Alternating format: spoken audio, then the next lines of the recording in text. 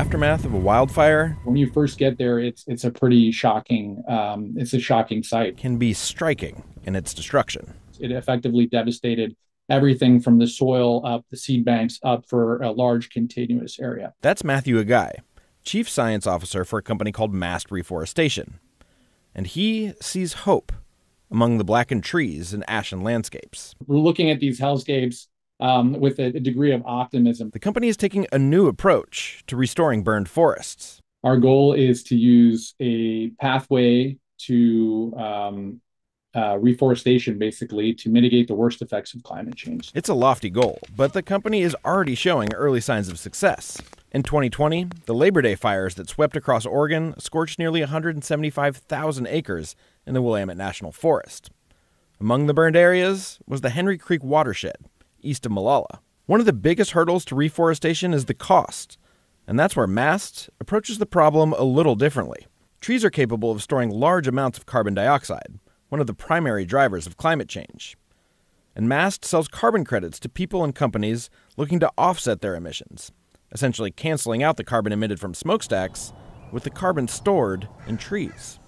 That allows the company to offer restoration to landowners at steep discounts. The Henry Creek Project is um, kind of the perfect case study for the type of work that Mast does. But of course, you can't replant a forest without trees.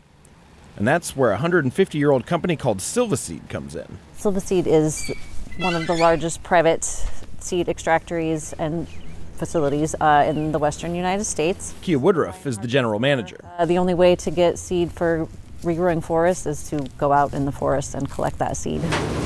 The cones start in one position here at the front. They first come in as cones, which are sent through a kiln to open the scales and release the seeds.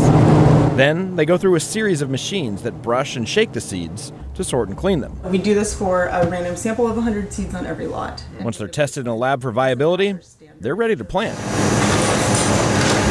The media is wrapped in a piece of biodegradable paper. Um, and it just gives a little bit of extra protection to the roots, a little bit easier to handle. This assembly line can produce up to 136,000 seedlings each day.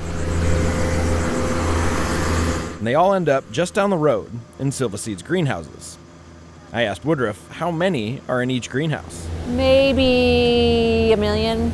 She said it's not easy work, but it does have its rewards. Every single time there's a fire, it's like, okay, who are the people that are going to be affected by this fire, um, and what resources can we can we you know bring to bear on that? More than 160,000 of those seedlings have made their way out to the 300 acres on the Henry Creek project.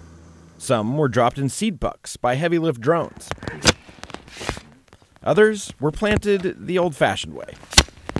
And the trees that were planted resulted in offsetting more than 200,000 metric tons of carbon dioxide, according to MAST.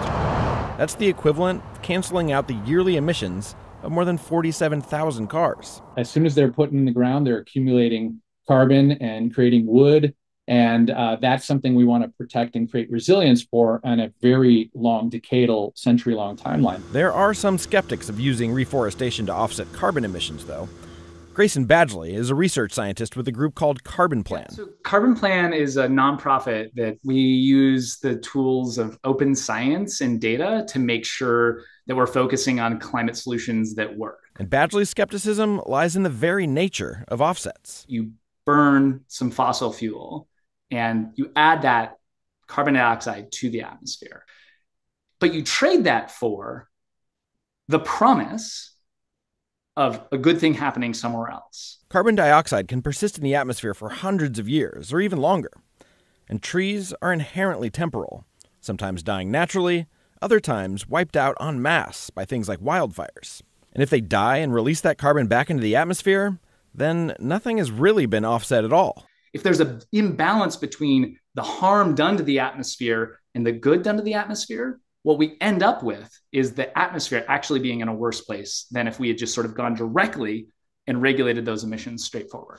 Still, Aghai was confident in the company's plan over the long term. We think about the individual or stand, of course, there's going to be dynamism. Trees fall down. Um, new trees are going to grow when we plant more trees. They're going to rep- uh, reproduce. And he said that the more trees that can be planted, the more resilient they'll be to wildfire, and the more confidence buyers will have in carbon credits. As soon as we do that at a very large scale, we start to see that the impact and the resilience are much better. The outlook is much better, and it should create confidence in these markets. But Aghai also knows it'll take more than just reforestation to fully combat the impacts of climate change in the West. The future uh, of the Western landscape is really dependent on this combination of tending to natural systems that have a natural resilience but also working as fast as we can to quickly recover these these hellscapes or these moonscapes. Kale Williams, KGW News. Kale's with me now, and Kale, interesting story, but I'm wondering what's the difference between this and like Weyerhaeuser doing a clear cut and then replanting, you know, thousands of trees there?